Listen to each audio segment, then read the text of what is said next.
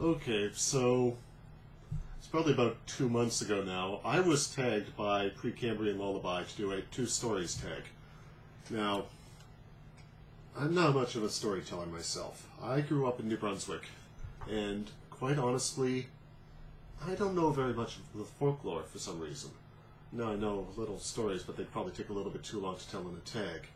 So what I'm going to do is I'm going to relate one personal story, and then I happen to have this book here. I've been looking for this for a while. Uh, Timeless Stories in New Brunswick by Peter D. Clark. If you're ever in Fredericton, New Brunswick on a Saturday morning, go down to the market. You can get a copy of this. Anyway, I shall start with uh, a little anecdote of my own, and then I'll tell you the story of Levi Grant. So, my story has to do with the time I, the biggest catch I have ever made while fishing. So, when I lived in New Brunswick, there were four or five fishing holes I knew of within easy reach of me. And any summer day when I wasn't working or in school, I would be down at one of those holes without fail. If it was a nice day, I'm there. So, it was one such Saturday, and was at quite possibly my favorite fishing hole ever. I was fairly well known in the area. And I swear on every second cast, I was catching a fish, a bass, somewhere probably about this big. So anywhere from 12 inches up to about 18 inches long. Just having an absolute blast. Because smallmouth bass are one of the best fighting fish you'll ever catch.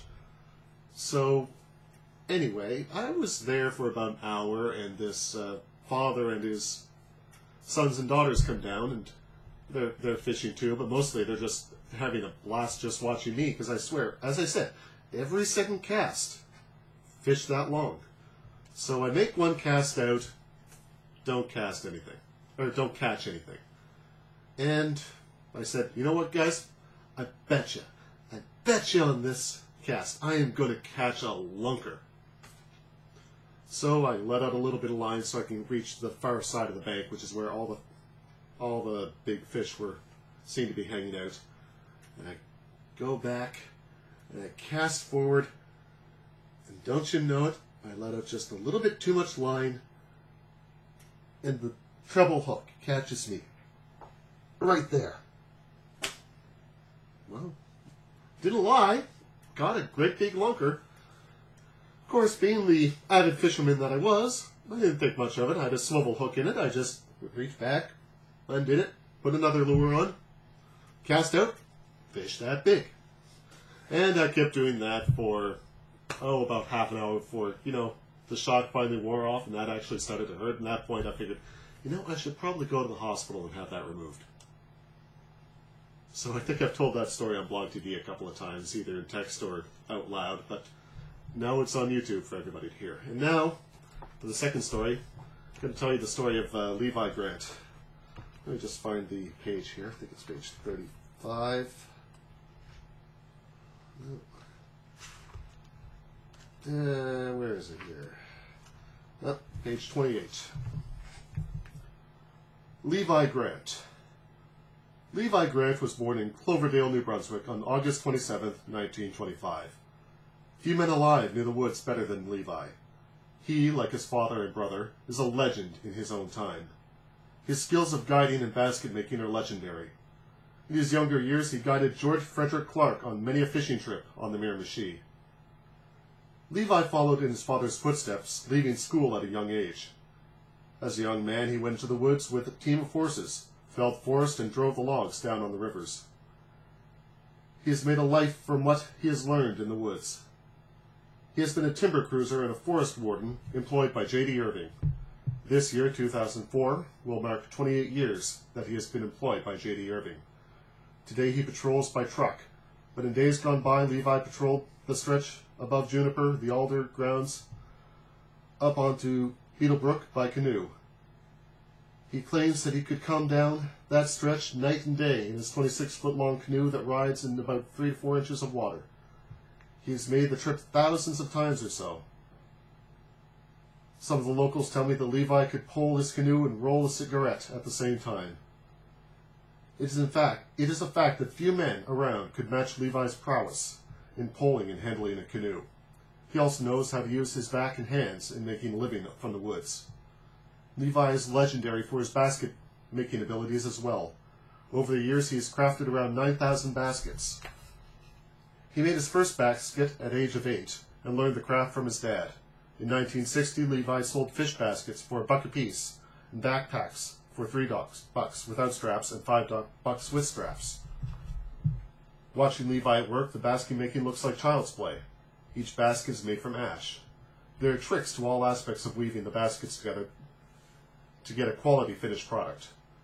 There are elements like shaping, picking the right thickness of the ash, and weaving the wooden stitches to an exact tightness. Over the years, Levi has fashioned laundry basket, fiddlehead baskets, fish baskets, picnic baskets, and his most popular, backpack baskets. Any type of basket imaginable, and the odds are good that Levi has made one. Levi says the most important element in becoming a basket maker is a certain level of patience. He claims without patience you won't make it. Over the years, Levi has sold every basket he's made, mostly in New Brunswick, but also throughout Canada and the USA. He gets callers on a regular basis and keeps a list. If you order a basket and say that you are picking it up on a certain day and you don't show up or call, the odds are good you won't get it because there are customers stopping regularly looking for any type of Levi Grant basket. Today, Levi either stamps his basket baskets or signs his name on them so you know when you are getting an original. If you are lucky enough to get a basket in 2004, prices range from $30 for a fish basket and up to $80 for a backpack. One of his best customers over the years, none other than Arthur Irving, who has bought around eight to nine hundred dollars worth of baskets each year for about 20 years. He has given a lot of those away as gifts. About nine years ago, Levi was patrolling Moose Lake area in, sorry, about nine years ago, Levi was patrolling the Moose Lake area in May. He took a sick spell in Eldon Govan, drove him to the Bath Hospital. The doctors called the family and said that Levi wasn't going to make it. One of the members, one of the family members called J.D. Irving, and he sent a plane to the McCain Hospital and transported Levi uh, to the St. John Hospital where he recovered. It is evident that the Irvings like and respect Levi. This summer, 2004, both Jack and J.K. Irving stopped in to pay a visit. Levi says that each Christmas he receives a nice Christmas present from Arthur and J.D. Irving. On August 1st, 2004, I stopped in for a visit with Levi and spent a couple of hours talking with him. Of course, he couldn't pass up the opportunity uh, of course, I couldn't pass up the opportunity of purchasing a few baskets he had on hand. Levi assured me that he still enjoys making baskets, but the weather was getting too hot and the wood was drying out too fast.